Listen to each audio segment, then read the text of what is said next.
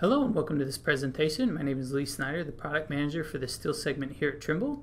And what I'll be showing is a quick overview of the new spiral beam functionality, which is available in Tekla Structures version 2017i.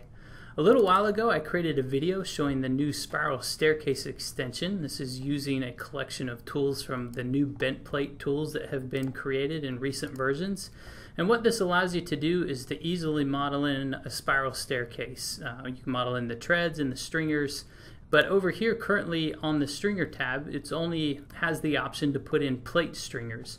So a lot of people recently have been asking how would we go about modeling in, uh, for example, like a channel or an HSS stringer.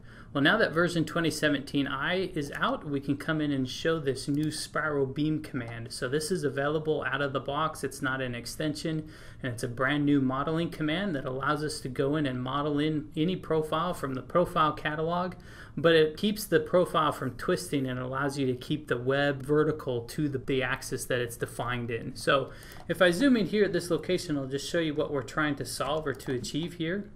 So I have this plate stringer that's been modeled in and we want to keep the web vertical of the members that we're going to model in and so I just put in this rod just to show us uh, where the vertical direction is. So in the past what some people would try and do is they would try and model this in using our polybeam command and so I'll just put one of these in just to show you the, uh, the challenges that they would come into with that. So I'll just pick the three points around this curve and then I'll come in here and put in a chamfer on this member so that we can get the uh, radius there. All right? And then if we take a look down here you can see that this profile begins to twist over on itself. So it's not vertical to the plate or to this rod that I put in down there at the bottom and then it's even more dramatic up here at the top. So what we're trying to achieve is we want to get this profile to twist uh, so that it's vertical to this shape here. So using this new spiral beam command we can do that. So I'll just go ahead and activate this command and then I can come in and I can control these settings uh, using the new properties pane over here on the side pane. So here, this is all the normal stuff within Tekla. You can set the name. Um, here, like I said, you can open up the profile catalog and choose any profile that you want. I'm going to focus primarily on the channel and HSS members that complete this spiral stair, but you have access to any of these shapes. Uh, the normal settings within Tekla property dialog boxes that you're used to. And then we can come in here and set the rotation angle and the total rise. So that's one of the things that's new here with this modeling command. So what I'll do is I'll just come in here and pick my start position and then I'll pick the center point here and then I'll just choose that I want to rotate this around the axis here and that will model in my new channel. So if we zoom in here and take a look here, this is the uh, channel that I just modeled in, the spiral beam, and then this is the poly beam. So you can see the difference between the poly beam and the spiral beam and we'll take a look at the plan view here in a minute so you can see um, that this is lining up correctly. And then you can see the difference up here at the top as well that it's not twisting over like this polybeam did.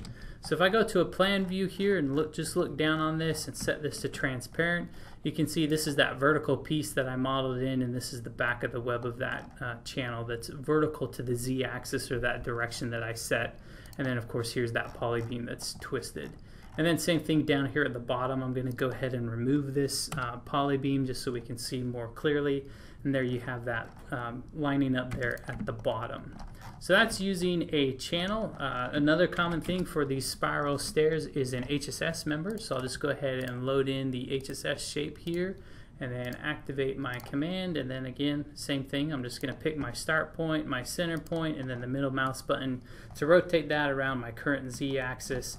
And then if we zoom in and take a look at this we can see there that that's um, vertical there just like we defined to that plane and then same thing over here up at the top if I rotate this around we can take a look and see that it's staying there okay and so modeling this uh, is good, but of course we need to be able to build or fabricate from this. So a lot of people need these uh, drawings to be unfolded. So if I come in and select this member here, I'm just going to create a single part drawing of this piece just to show you that we can get the unfolded drawing of this. So this is a drawing of that HSS member uh, unfolded. What I'm doing here in my settings, just under view on the attributes tab, is we have an option to show this unfolded or not. So if I set that to no, this is going to show me what that's like there within the model. So if I needed to create, create a top view of this and dimension the radius, I could do that. And then if I just want to get the unfolded length, I can do that also just by switching this um, and get that proper information so that we can build these pieces there in the shop. So as I mentioned, this is the new Spiral Beam command, which is available in Tekla Structures version 2017i. We'd encourage you to try it out, send us any feedback that you may have, and we hope you enjoy this new development.